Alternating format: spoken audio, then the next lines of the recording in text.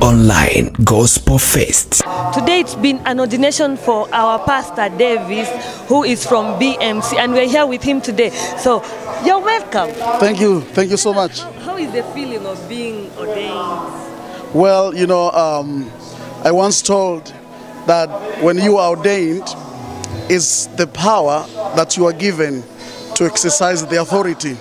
So I feel that I am in power today and I am about to excel in the authority that God has given me.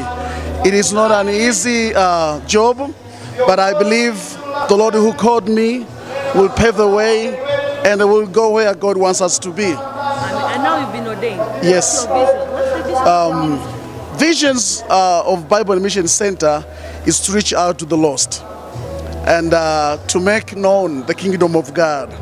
And we believe through the praise and the worship and through the word of God, we believe will draw many to the kingdom of God. And uh, also, visions that we have is to see people come to church and church also uh, draw near to the community because if the church is far away from the community, then there is no way the community will love the church. Church is not a boring place. Church is the place where people come and they can feel good, they can praise God, they can be lifted up, they can receive every promises that God has that God has promised them. So the vision of the church is to be a mega church. Yes, To be a mega, mega I church. like that statement. Of course. And where do you yourself, where do you see yourself in the next near future? Um, I, I pray a lot, and my prayer is that God will give me this city, city of Arusha, and later on God will give me Tanzania. Oh, God will give me East Africa.